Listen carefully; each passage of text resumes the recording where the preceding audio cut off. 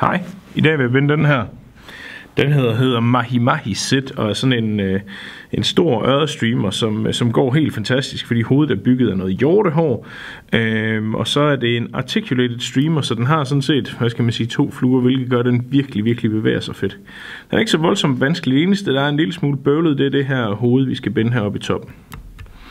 Øh, fordi det er en articulated streamer, så skal vi bruge to kroge, og den første krog, jeg tager, er en Arex Predator i størrelse 2.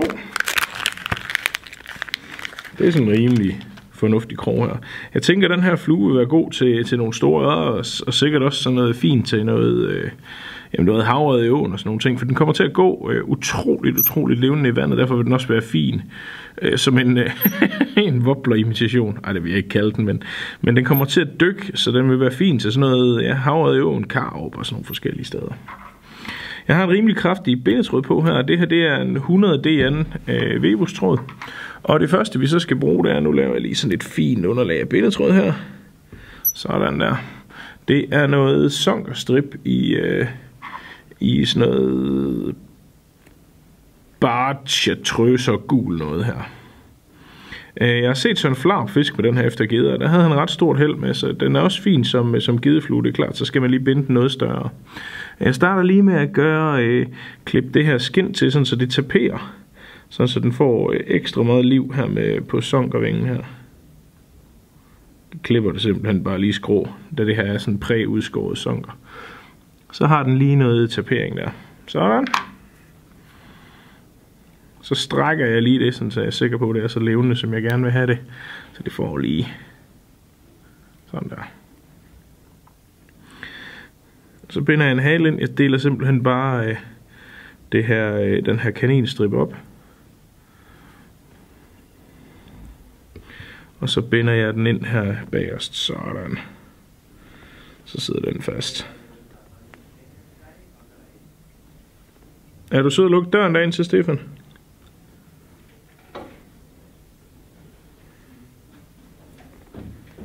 Tak.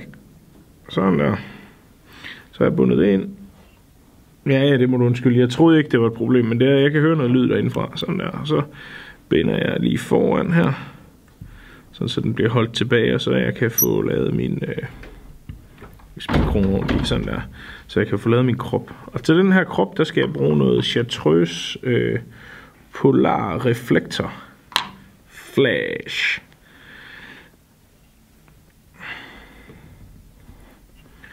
Så binder jeg et stykke af det ind i chartreuse her. Sådan. Det er et ret fedt materiale, øh, som jeg kan se, man kan bruge til virkelig, virkelig, virkelig mange forskellige ting. Øh, det giver sådan lidt den samme effekt som et, øh, som et hagel. Øh, og, øh, og ser fedt ud på sådan nogle større streamerfluer som den her. Så jeg simpelthen bare tørner det. Ligesom jeg ville tørne en hagel. Det er bare stærkere og mere slidstærkt det her. Mere solidt, og så er der noget flash i. Så jeg tørner simpelthen bare det, så jeg får, en, øh, får lavet en krop, som er sådan rimelig transparent stadig. Det vil også være fint til nogle børsteorm og ja, havet af natfluer, det er også super, super fedt til det her. I det hele taget som sådan noget fyld, fyldt materiale på lidt større fluer, det her fint. Det er også fint til gedefluer. Øh, sådan der.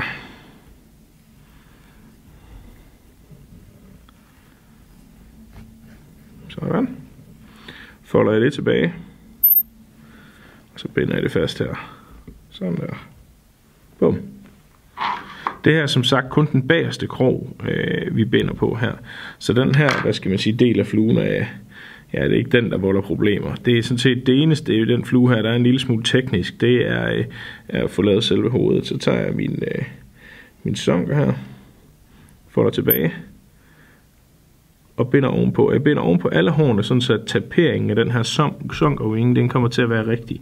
Hvis jeg havde øh, foldet nogle fibre for, fremad og så bundet ned, så havde det kommet til at se sådan lidt abrupt og, øh, og ikke helt så, øh, ikke helt så, øh, så fedt ud. Man kan jo sådan set sige, det her er sådan set faktisk en ganske udmærket flue i sig selv, bare sådan som den er her. Øh, men øh, ja, det tror jeg faktisk er en udmærket sonkerflue, bare sådan her. Godt, binder vi lige hele herligheden ned her. Så skal vi bruge nogle gummiben. Jeg tager nogle wriggle legs. tager lige to. De her, de er orange og gul. er slutbrøvl. Chartreuse og gul. Så de passer jo ret godt i farvetemaet. Bare taget sådan to her. Så tager jeg og folder dem sådan, så de er nogenlunde lige lange. Og så lægger jeg dem ind, sådan så de ligger på hver sin side her. Og så binder jeg dem ned, så får jeg sådan nogle... Øh, jeg får en lille smule her foran, men det, det er okay. Det får igen at give den noget mere liv og noget mere gang, noget vildere gang i vandet. Sådan der. Hovedet og sådan noget ikke så vigtigt på den her, fordi den kommer alligevel til at være gemt. Så har jeg gummiben ind på hver side. Så laver jeg en whip finish. Og så er første del af den her flue færdig, når jeg lige har fået givet det her lidt, øh, lidt sekundlim. Så har vi den bagerste del, den som virkelig skal wriggle og, og bevæge sig sådan på egen hånd ude i, øh, ude i vandet. Sådan. Så er den ud af stikket. Lægger over til siden til om lidt. Så tager jeg en, øh, en Arex TP610, som er sådan en... Øh, nej, det var den, jeg brugte før. Den her, den hedder bare, den hedder 650. Og det er en krog, som er designet til at lave den her slags flue på. Til at binde de her sæt. Og det er den, fordi den har sådan et særligt sådan knæk ude foran. Det ser super godt ud. Øhm, og giver den her flue sådan, så den dykker på den helt rigtige måde. Så tager jeg min bindetråd, og så lægger jeg lige et underlag af det hele vejen nedenunder her. Så jeg har noget, min Intuitor wire kan, kan bide fast i, når jeg skal til at bruge den om lidt. Sådan der. Så tager jeg og klipper selvfølgelig det her af. Så tager jeg min intruder wire. Og der bruger jeg noget chartreuse, men altså øh, sort eller hvad man nu lige har er også fint. Jeg tager en stump af det. Åh, det blev dårligt klippet af det der. Sådan der. Og så binder jeg det ind på den ene side, sådan så det når op til cirka der, hvor bindetråden er. Det er vigtigt, at man har et lille stykke her uden bindetråd helt heroppe. Sådan. Så binder jeg det fast. Så tager jeg to øh, perler. Og jeg har nogle gule her, med røde eller sorte, eller hvad man nu lige har også fint. Men de er fine i den her gule her. Så tager jeg to af dem og skubber på. Det er simpelthen for at sikre sig, at, øh, at øh, hvad det hedder, øh, den ikke hægter og, og sådan nogle ting. Lige for at holde den, holde den lidt adskilt, så tager jeg min, øh, min bagerste krog, og så sætter jeg øh, linen op igennem øjet, altså nedfra og op. Sådan der. Så igennem de to perler igen.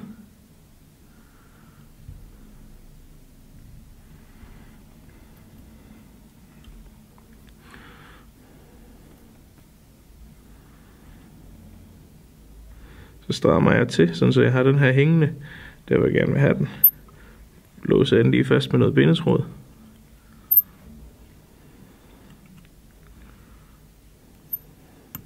Sådan der. Så giver jeg lige hele det her stykke her op noget sekundlim. For at være sikker på, at det hele holder. Og så kører jeg, øh, kører jeg bindetråden godt med tætte og øh, og hvad det hedder, stramtørn op over. Til jeg kommer herop til, og så klipper en tutorvejen af, igen med den dårlige saks. Så strammer jeg lige godt til undervejs, sådan så jeg er sikker på, at det her det bliver her til, når den der 10 kilos havred, den, øh, den hugger på den flue her. Og så har jeg simpelthen, øh, så har jeg simpelthen min articulated streamer hængende med den bagerste flue her, hernede bagved. Så kører det jo sådan set bare. Sådan der. Godt. Så skal jeg bruge noget mere sonker. Tager et nyt stykke af det her chartreuse sonker her. Igen. Trækker det lige ud, sådan så det er lige. Sådan rimelig lige i hvert fald. Finder det sted, jeg gerne vil have. Deler min sunkervinge op.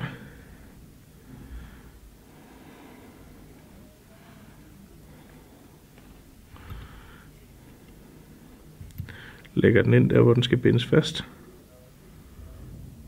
Lægger et løst tørn henover, så jeg ikke får der. Uden at få gummibenene med helst. Sådan. Tørner nogle gange. Virkelig stærkt. Sådan der. Folder jeg det tilbage. Binder op til, uden at binde ovenpå. Så tager jeg noget mere Polar Reflector Flash i den grønne her. Der er en stump liggende her. Vi først bruge noget grønt og så noget rød til at give, øh, det røde skal være til at give noget kontrast. Så, så alt det her er jo sådan, hvad skal man sige, rimelig simpelt og, øh, og ret lige ud af landevejen. Sådan. Kører op til cirka midt på det stykke, jeg har her. Så kører jeg bare på med Polar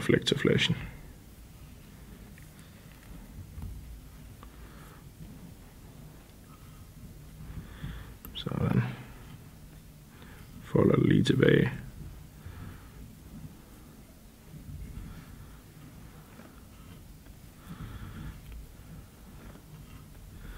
Så det får givet, øh, givet noget krop og noget liv og noget volumen, uden at være alt for, hvad skal man sige, for bulky og sådan noget. Sådan der. Binder jeg det fast. Ja, altså, vi bliver større og større fan af det her Polar reflektor Flash for hver gang jeg bruger det. Det er søren Jens med et fint materiale til virkelig mange ting. Binder det ind. Klipper af. Så tager jeg noget rød Polar reflektor Flash til at give noget kontrast og lave nogle gælder og sådan noget. Øh, den her flue er også, øh, som sagt, fin i større til, til geder. Jeg har set sådan en flarpfisk rigtig fint med den øh, efter geder. Det er jo som sagt en, en Andreas Andersen, hedder han, ham der har opfundet den her type af fluer. Og han er helt vild mester med, øh, med, med det her hjortehår. Øh, det kræver lige noget øvelse, før jeg bliver lige så god. Goddag!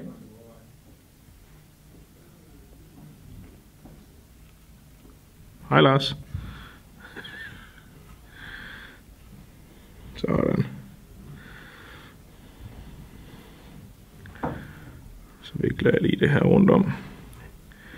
For at give den der kontrast og for at imitere nogle gælder, eller hvad sådan noget nu lige kunne være. Sådan der. Så binder jeg det ned. Der klipper af.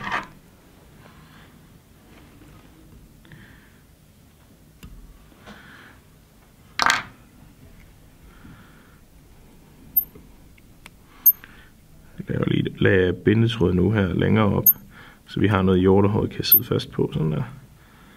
Så folder jeg alt det her ned på siden. Bare lige med fingrene ned på hver sin side, trækker det lige ned på hver sin side.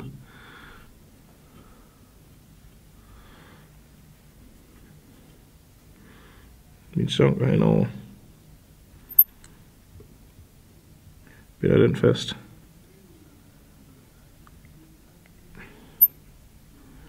Sådan der. Perfekt. Klipper af.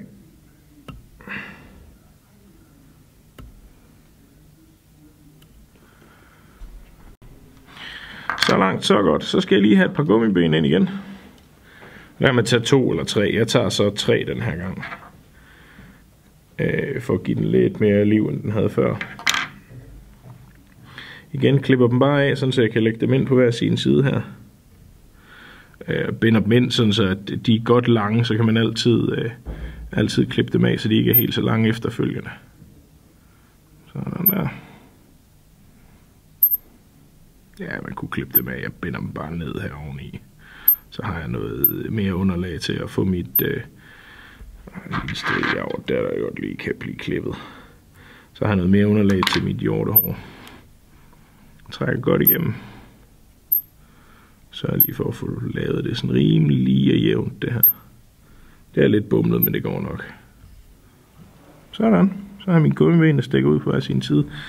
Og så skal vi sådan set i gang til med det der, der er noget bøvl. Skal vi i gang med hjortehorn. Jeg har cirka en centimeter nu til at lave hjortehår på. Og øh, der tager jeg selvfølgelig noget hjortehår. Det skal være chartreuse. Det er vigtigt, at det er noget, øh, noget relativt stivt og kraftigt hjortehår til at lave de her fluer af. Øh, så det skal være noget, noget, noget, noget fra buen. Det første bund her, jeg tager, er ret stort. Øh, jeg kan vise jer det, når jeg får klippet det af. Øh, Og grunden til, det er vigtigt, det største her, særligt det første her, det største er stort, er fordi jeg gerne vil have en masse af de her til at vende tilbage, så de kommer til at være sådan et hakkel.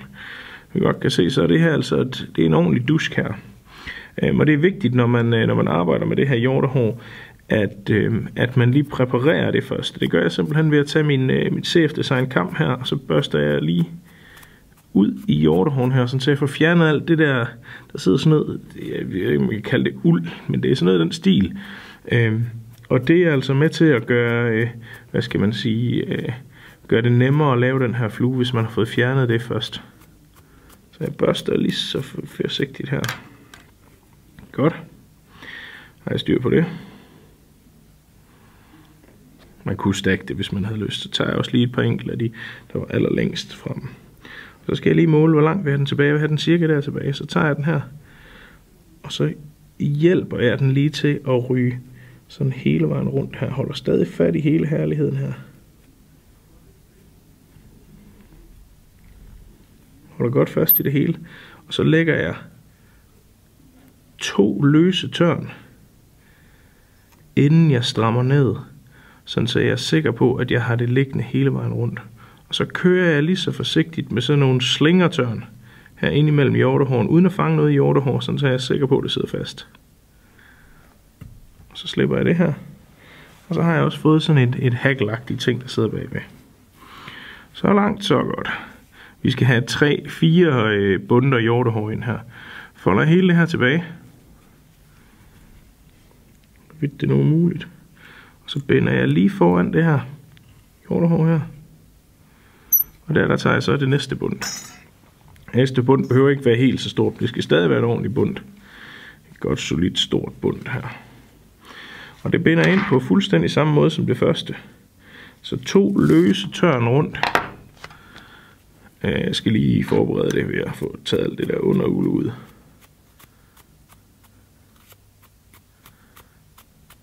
Den her øh, kamp, den følger med CF Designs, øh, hvad det hedder, øh, CF Designs øh, herstakker.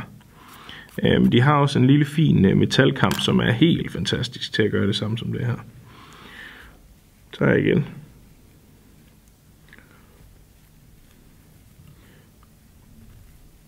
Og det her, det er altså, det her, det er altså ikke, det er ikke det nemmeste i verden. Så lægger jeg et løst tørn, to løse tørn rundt om her.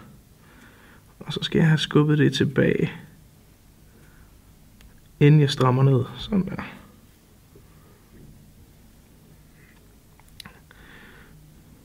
Hvis ikke man får gjort det her ordentligt, øh, så, øh, så får man simpelthen huller i sit, øh, i sit sæthoved eller i sit modlerhoved, og det, øh, det kommer til at blive ret tydeligt, hvis ikke man får pakket det her nok.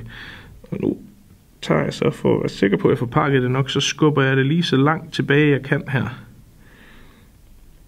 Man kan få nogle værktøjer til virkelig at mosle igennem øh, og få skubbet alting så langt tilbage som muligt. Øh, Rensetti laver sådan en her til at pakke sit hjortehår, og øh, man kan også få noget, der hedder en fnokli pakker.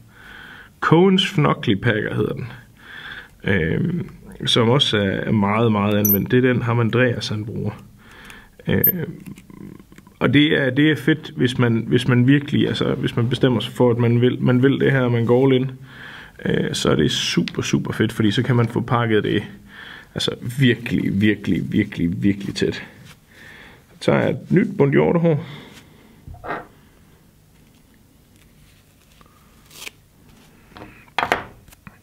Igen. For forberedt det godt ved at få alt det her fnuller ud her.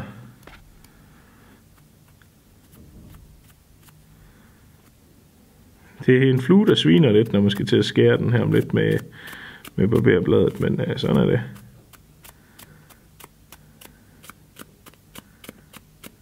Sådan.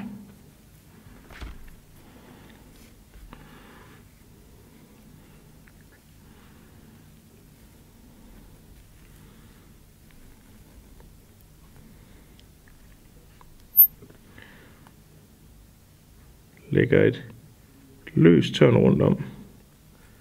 Og så et løst tørn mere rundt om. Sådan så når jeg strammer ned, så får det, kommer det til at være hele vejen rundt. Og så igen de her de her tørn her. Og hvis ikke man har fået fjernet alle de her øh, underuls noget, så er det meget svært at lave de tørn her inde i selve hjortehorn. Uden at man kommer til at fange helt vildt mange af dem. Sådan der. Så jeg I skal spænde den ordentligt. Kører jeg op foran.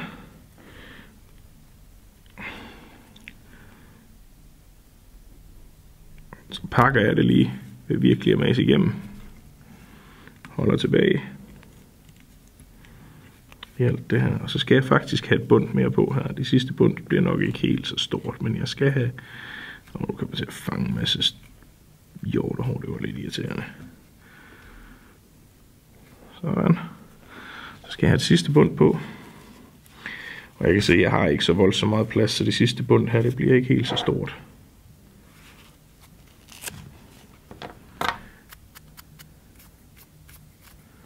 Jeg tager min kamp til at få alt det her underul ud. Jeg glæder mig sindssygt meget til at få den her i vandet. Jeg så den, øh, som, som Søren Flav havde lavet af dem her i stor til geder. Den så helt vildt fed ud. Gederne kunne heller ikke stå for den, så øh, så en stor grum havred der, når den her kommer, kommer bullerne gennem øh, tusmærket. Det, øh, det er jeg sikker på, det bliver et, øh, det bliver et hit.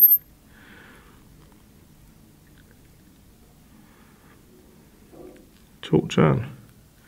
Så lige for at få det rundt. trækker ned, laver de her krydstørn herinde i midten. Sådan. Og nu er mit øje så mere eller mindre væk, men det går nok. For jeg kan jo bare altid skubbe det godt tilbage. Holder jeg hele ærligheden her.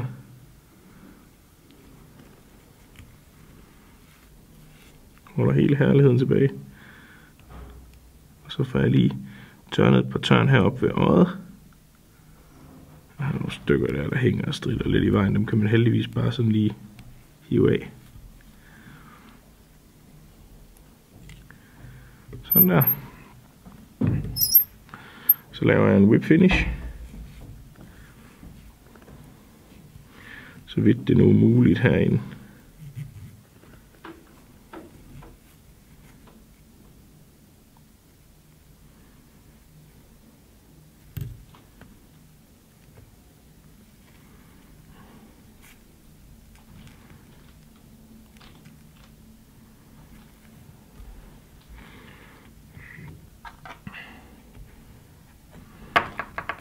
trækker ned. Og så min tråd, den er jo rigtig godt gemt ind i det her hjortehår, så det behøver man ikke at være så nervøs for.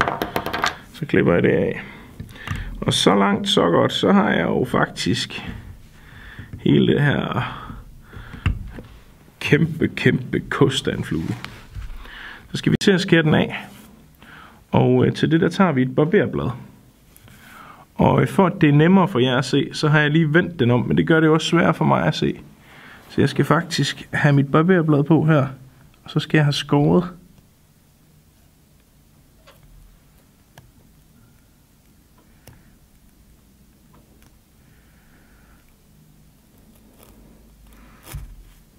Sådan der.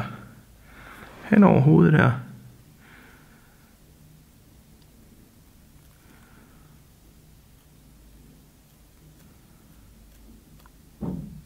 Sådan så jeg får lavet den helt rigtige fasong her. Uden at få skåret så meget af, at jeg får skåret dem her af, som skulle være haklet. Så nu har jeg fået skåret toppen. Uden at få skåret de bagerste af. Sådan der. Jeg ved ikke, om I kan fornemme, at den er helt flad heroppe på toppen. Så gør jeg det samme på undersiden. For den her, den skal være sådan firkantet.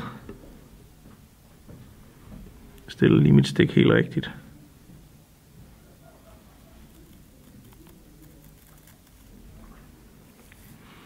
Så skal jeg undersiden af. Sådan der.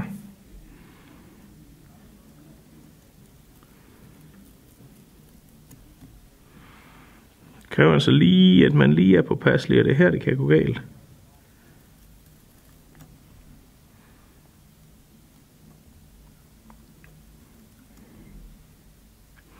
Jeg kan se, at jeg har fået lavet mit rimelig tæt.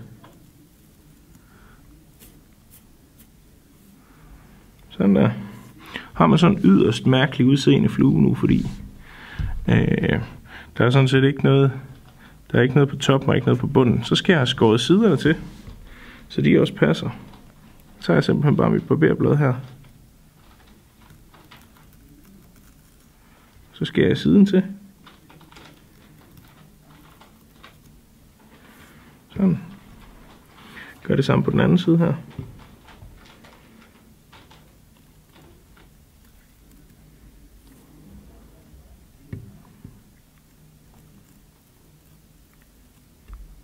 Vigtigt at have et skarpt billede. Jeg plejer faktisk kun, de gange jeg har bundet den her, der har jeg kun brugt, øh, jeg har faktisk sat et nyt barberblad hver gang, for at være sikker på, at det hele er sådan, som det skulle være. Kan I godt se. Så har man faktisk fasongen her, men der mangler så lige blive skåret en del af over mod jer, kan jeg se. Det tager vi så nu.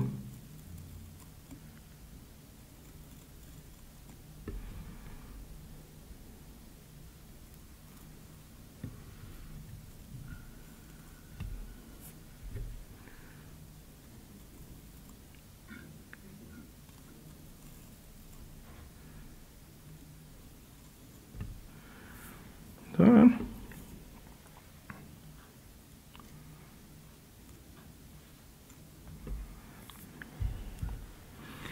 Og så har jeg faktisk fået lavet en rigtig, rigtig, rigtig flot form på det her hoved. Og hvis vi så vender kronen sådan, som den skal vende, så har vi faktisk fået det her nedadbøjet øje, som, øh, som er hele ideen med den flue her. Vi har gummibenene siden ude på hver side, dem har jeg ikke skåret af selvfølgelig. Øh, vi har det her flash til at give noget, øh, noget Ragnarok og noget ballade. Vi har sunk og vingen til at virke, og vi har, øh, vi har øh, den her til at hænge og dingle. Og så det sidste, vi mangler at gøre, sådan set, det bliver faktisk vigtigt. Jeg tror næsten, det her er den flotteste, jeg nogensinde har lavet af dem. det er jo dejligt nok, når nu man er på video. Så skal vi have lagt noget lim på. Og der tager jeg lige noget, øh, noget pro øh, af den, der hedder Thinflex. Den er rigtig fin til det her. Så lægger jeg noget lim ind på siden her. Øh, den er god, fordi den suger sådan ind i hovedet. Sådan der, hvis man er rigtig god, så kan man lave alle mulige mønstre og vildt gå eller gak i, i det her fluer. Så god er jeg ikke helt, så, øh, så, øh, så det har jeg ikke lige valgt at gøre på den her. Så tager jeg nogle af de her nye øh, Pro Attitude Eyes, fordi de ser monsterfedt ud. Øh, Monsterfede ud, også på den flue her. Det her, det er den, øh, det er den mindste af dem.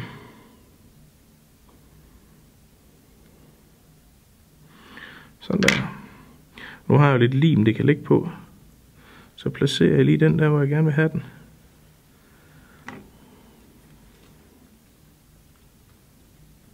Så får den lige noget UV-lim ovenpå os. Så den ligger på et underlag af UV-lim.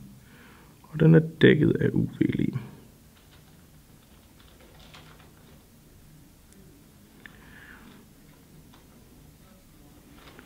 Der var helt perfekt. Så giver jeg den lige noget lys.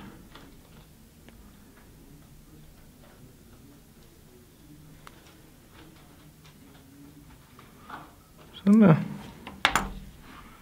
Wow. Hvad siger til det? så skal man sådan set bare gøre det samme på den anden side, og så er fluen færdig. Sådan er det. En sit mahi mahi version. Tak fordi I kiggede med.